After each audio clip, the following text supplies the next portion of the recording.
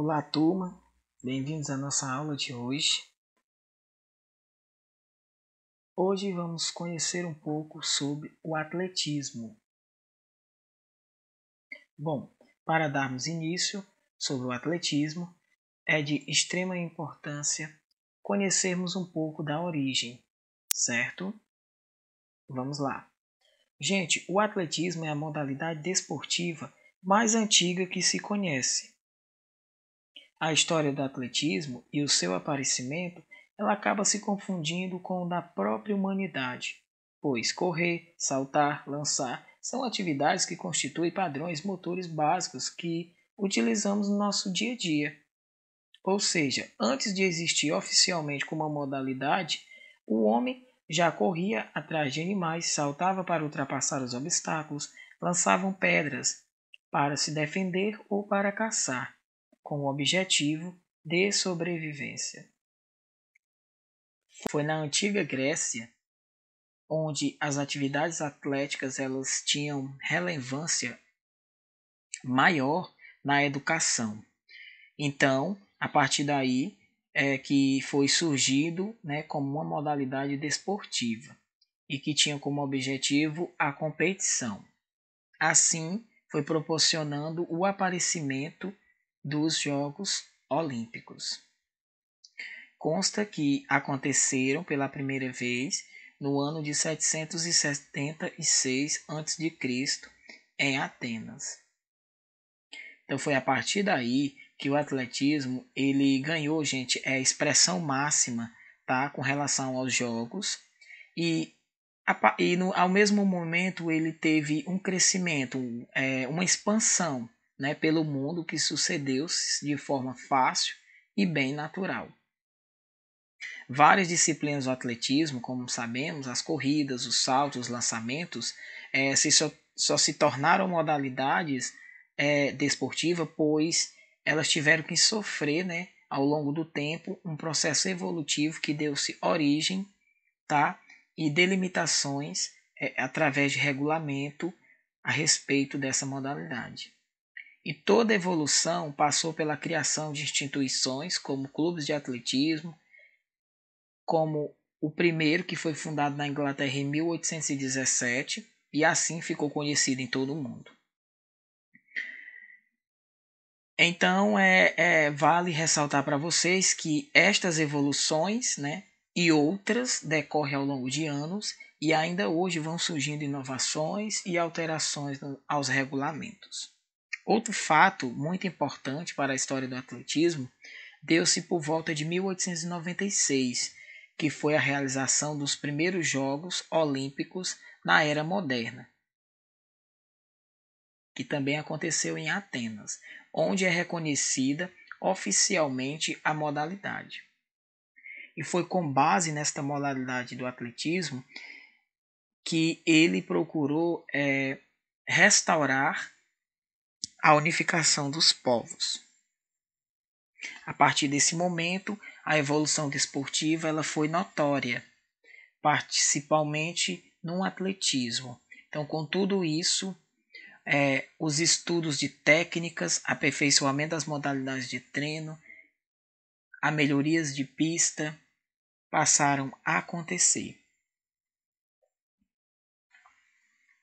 A chegada da modalidade do atletismo, ela chegou no Brasil por volta no final do século XIX e a primeira competição ela foi realizada em 1914, certo, na cidade de São Paulo. A prova, que tinha competições em 12 eventos, foi vencida pelo conhecido dinamarquês chamado de Eis Lovart Rasmussen. Com esta prova, a cidade de São Paulo ela entrava para a história do esporte brasileiro como sendo a primeira cidade a realizar as competições no país. Por volta de 1921, o Clube Atlético Paulistano finalmente inaugurou seu primeiro estádio para a prática do atletismo no Brasil. E assim, o Brasil teve a sua primeira participação nos Jogos Olímpicos em 1928, na Olim nas Olimpíadas de Paris, na França. E nesta época, a equipe brasileira era composta por apenas oito integrantes. E a primeira medalha conquistada pelo Brasil foi nas Olimpíadas de Helsinki, na Finlândia. Quem conquistou foi Ademir Ferreira da Silva, conquistando o ouro no salto triplo e batendo o recorde mundial com um salto de 16 metros e 22. Esse fato se deu-se no ano de 1952. Então finalizamos é, um pouco da história do atletismo, fazendo a reflexão de que hoje ele recebe é, influências de diversas áreas do conhecimento, seja como educação ou como alto rendimento. E fica claro que é uma realidade presente em todas as esferas da sociedade. Com relação às características, sabemos que o atletismo ele é composto por modalidades que se classificam, tá? São elas as corridas, lançamentos e arremesso e saltos. Hoje vamos detalhar e conhecer um pouco sobre as corridas, que podem se classificar em curta distância e longa, além de provas de revezamento e com obstáculos e a de marcha atlética. Bom, nessa tabela é, vamos entender um pouco tá, sobre a classificação do atletismo. Como podemos ver, se classifica em corridas, saltos e lançamentos. As corridas, elas podem ser né, corridas de velocidade e corridas de resistência. Aqui mais embaixo nós vamos ter o quadro onde mostra essas provas, tá certo? As corridas, elas são, né, como vocês podem ver, de 100 metros, 200, 400, 800 metros, 1500 metros, 3000 metros, certo? 5000 e 10 mil metros. E aí temos também a maratona, né, que já é uma, uma prova bem extensa, né, podendo chegar até 42 quilômetros. 300, temos a prova de 300 com, com obstáculos, também temos algumas provas com barreiras, as de revezamento, né, as, a 4 por 100, 4x400, também temos a marcha atlética, que vai de 20 km a 50 km, tá certo?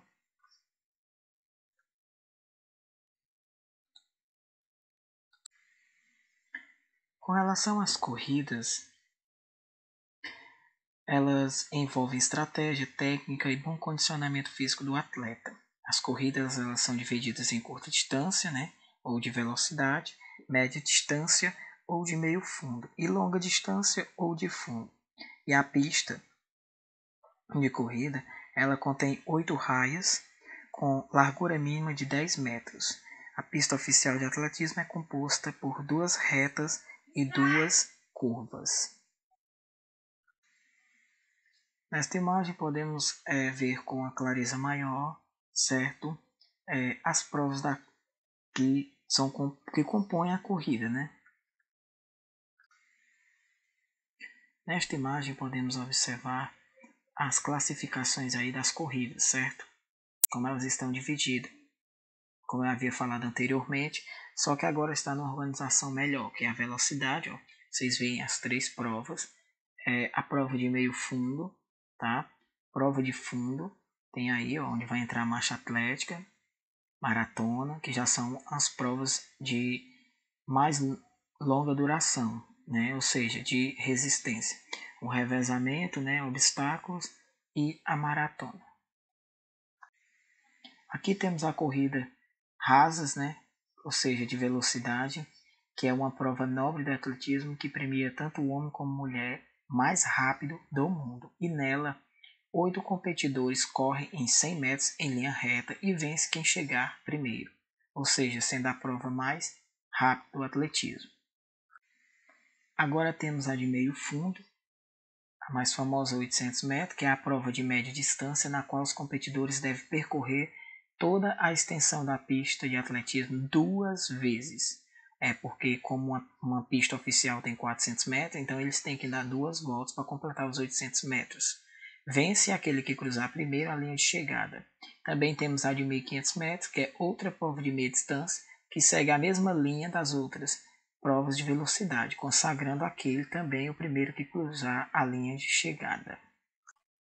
Agora temos a corrida de fundo de 5 mil metros, que é um pouco mais extensa, é conhecida como uma prova de fundo, por não se tratar apenas de uma competição de velocidade. Vence aquele que cruzar primeiro a linha de chegada. Temos a de 10 mil metros, que é a prova do atletismo mais longa disputada dentro de um estádio. Assim como em todas as outras de velocidade, vence quem cruzar primeiro a linha de chegada. E por fim, a maratona. E por fim, temos a maratona, que é uma das provas mais tradicionais das Olimpíadas. Nela, competidores percorrem uma distância de 42 km e 195 metros, normalmente em ruas abertas, sendo que os 400 metros finais da prova se encerram dentro de estádios. Nessa imagem, temos aí os exemplos da corridas com obstáculo e rasas. Bom, como vocês viram no início, quando a gente começou a falar de corridas, a gente viu que ela se dividia né, em duas, que era a de velocidade e a de resistência. Vamos procurar entender um pouquinho o que seria essa corrida de velocidade. As corridas de velocidade elas incluem uma distância curta, né? Tá aí a famosa, né, 100 metros, 200 ou 400 metros, que aí é uma pista, né, uma volta inteira. E o objetivo de todas elas é o que? Partindo de uma posição é, agachadas nos blocos e partidas. É quando eles vão né, dar início à prova percorrendo a distância definida o mais rápido possível. Essas corridas são constituídas por quatro fases fundamentais, que é a partida, né, que é a aquisição de velocidade, a manutenção e a velocidade, e a perda de velocidade. Já na prova de corrida de resistência, é, ela vai exigir né, dos atletas é, uma resistência maior, sendo executada por longos períodos de tempo utilizando o metabolismo aeróbico. É, sabemos que no grupo dos primatas, o ser humano é o único animal que apresenta tal capacidade. Assim, apesar dos homens estarem filogenicamente é, no grupo dos primatas em relação à aptidão à corrida de resistência, eles podem ser comparados a animais cursoriais, conhecidos como excelentes corredores. Aqui nesta tabela, é, o objetivo aqui maior que eu coloquei para vocês foi para vocês terem a noção né, que as provas atletismo elas tanto são disputadas por né, o sexo masculino como pelo feminino. E aí, bom, nessa imagem é, vocês podem observar que temos mais ou menos aqui algumas marcações na pista de atletismo, certo? Ao centro vocês podem observar que é um campo, né, onde há espaço para outras provas, tá certo? E na pista onde nós vamos ter as nossas as nossas outras provas, médias, curta distância, ok? Podemos observar aqui a técnica da corrida. Cada fase engloba uma fase de apoio, que pode ser dividida em fase de apoio à frente e fase de impulsão. A outra é a fase de voo, que pode ser dividida em fase de balanço e fases de recuperação. Durante a fase de apoio, há em primeiro lugar uma desaceleração, ou seja, apoio à frente, e depois uma aceleração, que seria a impulsão. E durante a fase de voo, a perna livre executa um balanço e depois estende-se para o contato com o solo, fase de balanço, enquanto que a perna de impulsão flete rapidamente para assim fazer a fase de recuperação é, como dica de qual a maneira né, mais correta que se tem assim para a gente executar né, essas nossas, é, digamos, caminhadas aí mais aceleradas, né, ou seja, a nossa corrida, tá bom? Que a gente pratica aí no nosso dia a dia. Então, turma, por hoje é só, tá? Espero que tenham gostado aí é, sobre um pouco da história do atletismo, né? E, e hoje a gente pôde observar um pouco da origem dos tipos né, de corridas tá? e as fases também da corrida. Quero agradecer, tá certo? Meu forte abraço e muito obrigado.